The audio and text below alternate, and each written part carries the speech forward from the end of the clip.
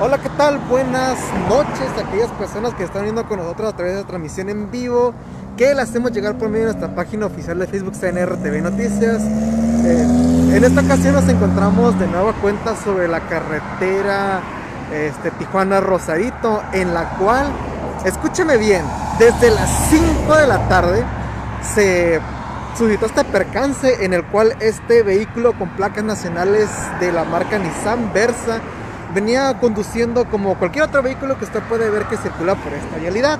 Y un peatón inconsciente, por no utilizar otra palabra, se decidió cruzar caminando por aquí como alma sin pena alguna. A lo cual, pues por el respeto a la vida, el conductor de este vehículo pues dio el volantazo y lamentablemente chocó contra este poste de madera causándole graves daños y privando de suministro de energía eléctrica a algunas viviendas aledañas a, este punto. Le menciono, no tenemos heridos, únicamente daños materiales. Aquí el lugar de los hechos ya llegó, bueno, desde las 5 de la tarde nos menciona el ajustador de Qualitas, si no recuerdo si de Qualitas, o quien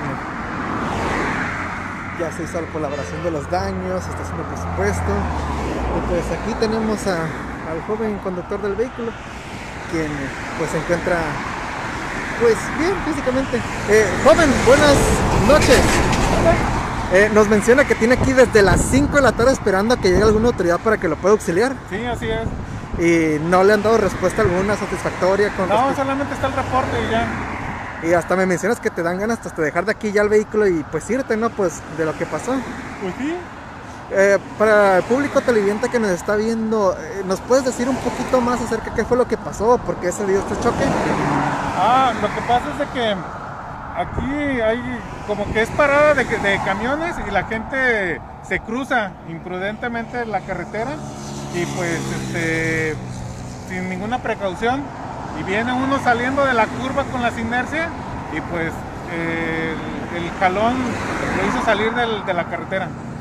¿Algún mensaje quieres dedicar a alguna autoridad si nos está viendo por aquí? Pues sería muy conveniente este, más rapidez y fluidez a, los, reportes, atención pronta a los reportes y pues un paso peatonal no, no estaría de más aquí en este punto. Perfecto. Este, ¿Algún mensaje quieres dedicar a las personas que para que no cometan esta imprudencia de cruzarse por en medio de las carreteras?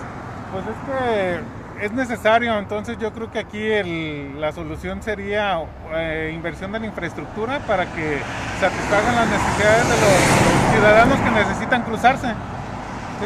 Que me habías comentado que, te encuentras bien, que no te pasó nada. Sí, este, estamos bien nada más, algo adoloridos por la cinética, pero está bien. Ok, únicamente el daño que sufrió tu mirada. Sí, es puro daño material. Ok, aquí ya tenemos este reporte que nos hace llegar este joven conductor. Este, ¿Me compartes tu nombre, por favor? ¿Cómo? ¿Me compartes tu nombre, por favor? Abel. Abel, eh, Abel me comenta pues que pasó esto y por favor, a las personas que se encuentran eh, conectadas a través de esta transmisión en vivo, por favor, siempre respetar aquí pues las vialidades, no cruzarse imprudentemente por no decir otra palabra y alguna autoridad por favor que nos eche la mano ya que nos encontramos aquí muy cerca de, del puente de Loma Blanca donde aconteció pues este hecho pues lamentable, que afortunadamente no tenemos personas heridas o muertas, pero sí pues daños materiales. Todo el placer de informar para ustedes y para CNR Noticias Canal 73, Luis González.